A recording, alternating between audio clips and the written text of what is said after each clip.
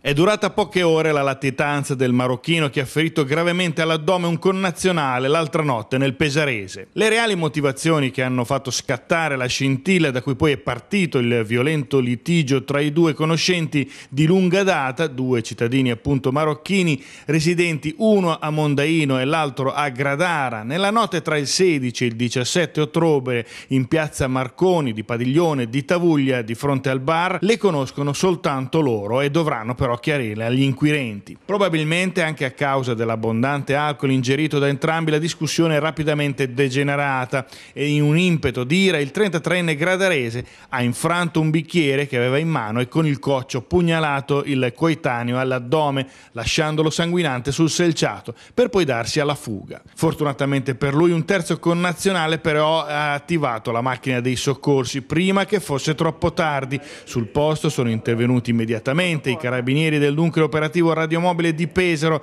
assieme al personale del 118 che ha trasportato il ferito all'ospedale San Salvatore in codice rosso e dove il giovane è stato operato d'urgenza per fermare l'emorragia. Nel frattempo i carabinieri della stazione di Tavuglia, dopo aver ricostruito l'accaduto, si sono lanciati in caccia dell'aggressore, essendo risaliti alla sua identità, nonostante però la difficoltà a trovare testimoni oculari. Questo lasso di tempo comunque ha dato al fuggitivo un breve vantaggio, quel tanto che gli è bastato per passare da casa e raccogliere gli effetti personali e svignarsela prima dell'arrivo dei militari nell'appartamento